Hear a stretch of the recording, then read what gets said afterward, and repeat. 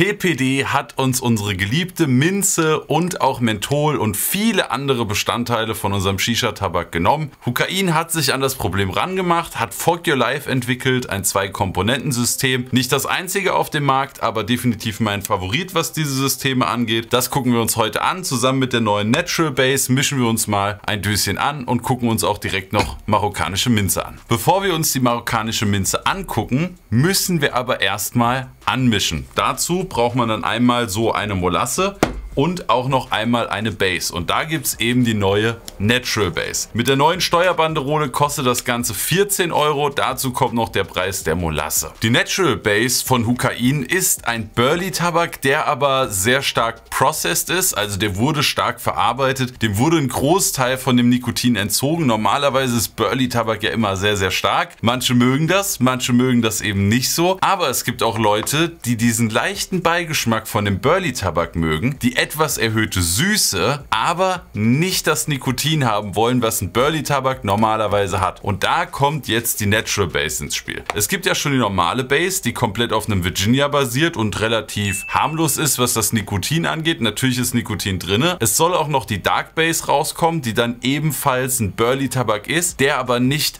bearbeitet ist. Das heißt, der wird dann auch deutlich stärker werden. Aber wir haben jetzt die Natural Base am Start. Wir machen mal eine Dose auf und dann gucken wir uns das Ganze dabei an. Schnappen wir uns mal eine von den neuen Dosen. Machen wir mal auf und da sehen wir, da liegt der Tabak drin. Dann schnappen wir uns unsere Flasche dazu. Dann einmal die Flasche schütteln, ganz wichtig, damit sich das alles schön verteilen kann. Und dann einmal hier Kappe abdrehen und dann drüber kippen, aber im besten Fall dabei schon mit umrühren. Ich habe die Zweihandtechnik entwickelt, Freunde. In der einen Hand halte ich die Molasseflasche oben drüber, gleichzeitig aber auch noch mit den Fingern die Dose fest und dann mit der anderen Hand kann ich hier schon ordentlich umrühren. Und da sieht man immer wieder, dass hier mal so trockene Stellen hochkommen und genau diese trockenen Stellen wollen wir nicht. Das heißt, einmal fleißig umrühren, bis das alles gleichmäßig aussieht. Und am Anfang sieht das schon sehr, sehr feucht aus. Bei der Natural Base geht es noch. Bei der normalen Base ist es nochmal deutlich schlimmer. Aber wenn man das dann verteilt hat und ein paar Tage stehen lassen hat, dann wird das deutlich besser. So, ab und zu mal hier die Gabel abstreifen. Da hängt nämlich viel, viel, viel Tabak dran. So, und dann wird weiter fleißig umgerührt. Auch mal wirklich hier von unten nach oben rühren. Nicht einfach nur hier so hin und her. Das gilt übrigens auch für beide Base-Varianten. Und so lasse ich das Ganze dann einfach stehen. Rühre das einmal am Tag um und warte dann zwei, drei Tage und dann ist das Ding auch wirklich wunderbar. Was man dann noch machen kann, wenn man seine Dose fertig angerührt hat, man kann sich noch die Molasseflasche suchen, dieses Label abziehen. Dann drehe ich die immer um, also nicht mit der Seite nach vorne, sondern einmal genau umgekehrt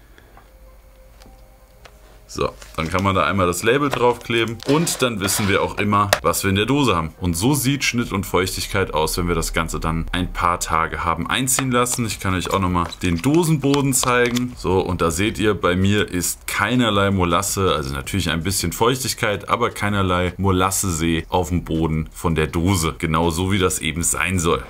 So, angemischt und angeschmissen ist das Ganze. Hukain bzw. Fuck Your Life sagen, dass das Ganze nach 6 Stunden ready to smoke sein soll. Und das stimmt auch. Es ist ready to smoke. Man kann es dann rauchen. Meiner Meinung nach sollte man es aber dann noch nicht rauchen. Ich finde, das Zeug braucht ein paar Tage, bis das wirklich eingezogen ist. Früher stand 5 Minuten drauf, jetzt steht 6 Stunden drauf. Vielleicht kriege ich Hukain ja irgendwann noch dazu überredet, da 3 Tage drauf zu schreiben. Für mich muss Fuck Your Life ein paar Tage einziehen. Und dann ist die Molasse auch wirklich da, wo sie sein soll und zwar im Tabakblatt drinne. Und dann hat man einen Tabak, der sowohl Minze, Menthol als auch andere Sachen, die uns TPD verboten haben, drinne haben darf. Und das ist was sehr, sehr Nices.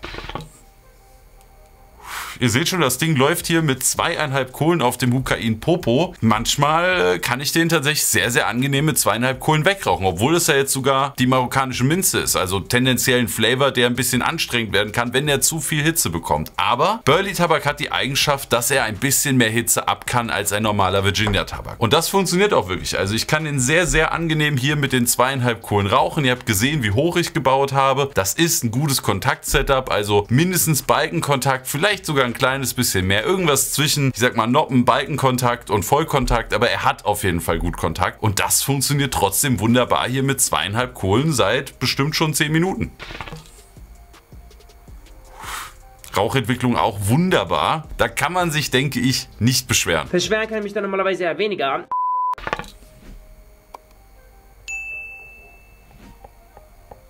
Also das Rauchverhalten ist, wenn man den ein paar Tage hat einziehen lassen, wirklich wunderbar. Ich habe weder ein Drücken noch ein Kratzen, das läuft wirklich super smooth. Für mich ist Fuck Your Life einfach eine unglaublich gute Lösung geworden, wie wir TPD eben umgehen können. TPD hat uns mehrere Tabaksorten kaputt gemacht. Es wurden Sachen verboten, die zum Beispiel in einem Zitrone-Minze drin sein müssen, damit der richtig gut ist. Es wurde Minze und Menthol verboten, aber auch noch viele andere Sachen, die in einem Tabak drinne stecken müssen. Zum Beispiel bei einem Cola. Man kriegt zwar einen Cola-Tabak auch mit TPD noch relativ gut hin, gibt es ja zum Beispiel von Ocean, aber dem fehlt vielleicht noch so das gewisse kleine Etwas. Und genau das kriegen wir dann halt wieder mit dem Fuck Your Life Cola. Das ist wirklich mein absoluter Lieblings-Cola-Flavor. Dank kein TPD. Am schlimmsten ist das natürlich bei Minze und Menthol-Tabaksorten. Das heißt, alles, wo wir Eis oder wirkliche Minze drin hatten, kann keine Minze mehr drin sein. Wenn ihr euch einen fertigen Traube-Minze-Tabak kauft, darf es kein Traube- und Minze-Tabak sein. Es kann nur ein Traube- und Cooling-Tabak sein. Und das ist für Traube-Minze-Liebhaber, wie zum Beispiel mich, absolut keine Option. Zum Glück hat der Holzer Traube Minze zum Beispiel auch noch den Shot mit dabei. Da habt ihr dann auch eine richtige Minze. Aber bei dem Fokker Live Traube Minze habt ihr dann natürlich auch eine richtige Minze mit am Start. Und natürlich wären Sorten wie die marokkanische Minze, die wir uns gerade angemischt und gebaut haben, gar nicht möglich mit TPD. Und das ist sehr, sehr geil, dass Fokker Live uns diese Sorten eben wieder hier zurückgebracht hat und wir die wieder am Start haben. Die marokkanische Minze ist übrigens einfach genau das, ein Minztabak. Der ist nicht ultra kalt, aber er hat auf jeden Fall eine Minze Minzfrische am Start. Schmeckt wirklich wie ein süßer, geiler Minztee, den man sich in der Shisha-Bar zu seiner Shisha noch dazu bestellt. Für mich, gerade jetzt, wo es langsam wieder wärmer wird, ein hervorragender Tabak. Den kann man im Sommer draußen sehr, sehr gut rauchen und es ist natürlich ein perfekter Tabak zum Mischen. Literally an alles Fruchtige kann man immer einen Schuss von dem marokkanischen Minze dran machen und das ist fast immer geil. Wobei ich sagen muss, ich rauche den sogar extrem gerne pur. Gerade jetzt im Sommer, wenn es wärmer wird, ist das einfach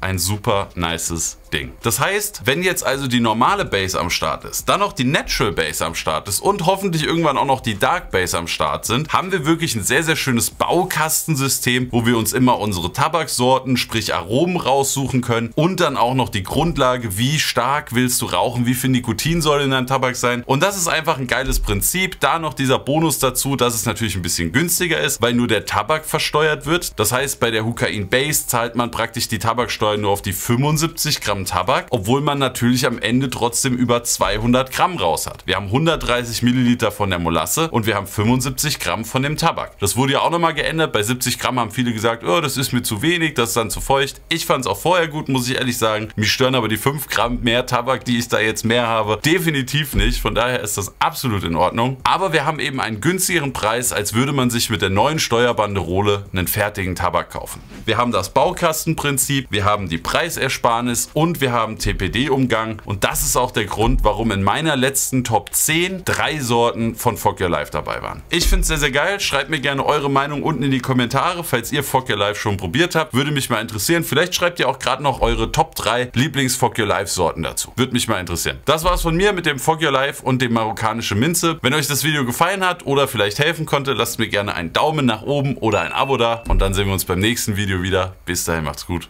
Eure Shisha WG.